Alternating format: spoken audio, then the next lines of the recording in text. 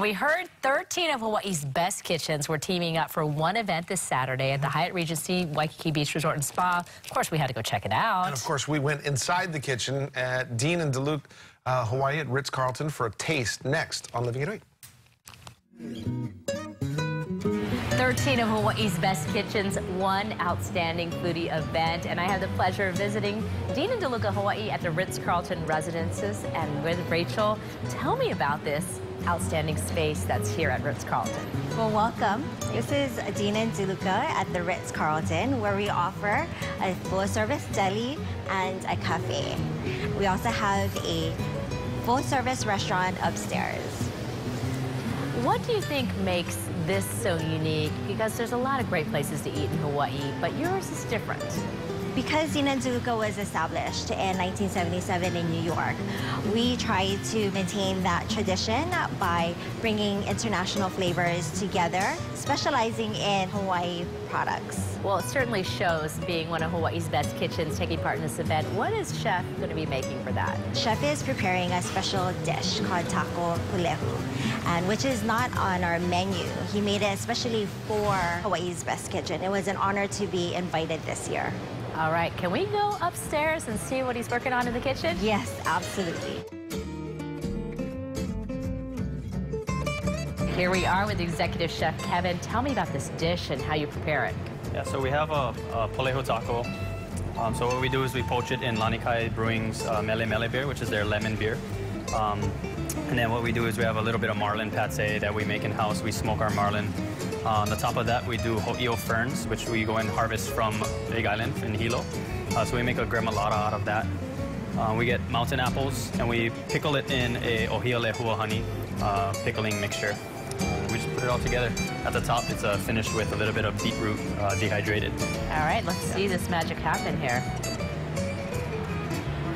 And you really do have a big focus on the local ingredients. We do, yeah. So, you know, we really try to strive to not only get the normal uh, local ingredients that everyone uses, but go out ourselves and harvest our ho'io ferns or warabi, um, get our mountain apples, whatever's in season, whatever's freshest.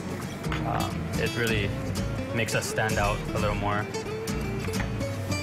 And we really want locals to know they can come out here for brunch. They can visit the deli downstairs and dine and enjoy wine and a terrific meal. Absolutely. You know, we have a lot of comfortable uh, food. You know, a lot of locals, they get scared when they see fine dining or they get scared when they hear something that they don't know. But um, what we do here is we do a lot of local uh, style food.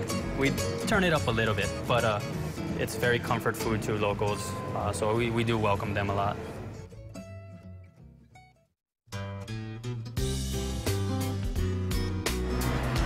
Been busy in the kitchen. What all do we have here? So we have a mix from our brunch menu and our after hours menu. Uh, so our first one is our saffron bouillabaisse. We do this at brunch. This is our homage to fishing, which I'm a huge fisherman. And then we have a hot pohaku. So tableside, we would serve it with our saffron bouillabaisse. Uh, the bouillabaisse is made with menpachi that we catch ourselves. Our next dish is our brunch menu as well. It's a loco moco. So we have a Kunoa beef Wagyu Angus breed from Big Island in Waimea. On our lounge menu, we have our Hokkaido scallop, so we sear that in brown butter. We do a Hudson Valley foie gras, we sear that as well. Something on our new menu is a seared duck. So we have a seared duck breast with our uh, Varuvan uh, Marcona almond sauce. I think I need to try all of this, but certainly the, the taco, if you don't mind and we're going to get information on how people can attend. Again, the event is Saturday. Just want a little bit of this, a little bit of this. Mm. All right, thank you both so much. This is excellent. What a fabulous event. How can people get tickets? We hope to see everyone this Saturday at the Hyatt Regency Waikiki Beach Hotel. You can get tickets um, by following at Hawaii's Best Kitchen. There's a link to purchase tickets. All right, get your tickets and you can sample that dish and more dishes from 12 of the other Hawaii's Best Kitchens. Oh, man. Delicious. And you know, Farron, who works behind the scenes putting together all these fantastic stories, said that was the best Loco Moco. And he's kind of a connoisseur of that that he has ever had. You can get that on the brunch menu. But amazing space, free parking if you just want to go to Dean and DeLuca, if you want to go to the Hawaii's Best Kitchens again Saturday at 7. You had me at uh, uh, local.